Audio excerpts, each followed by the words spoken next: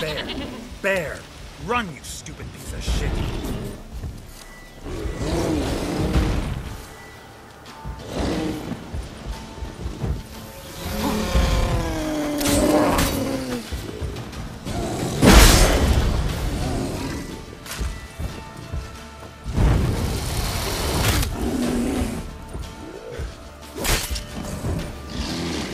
Damn,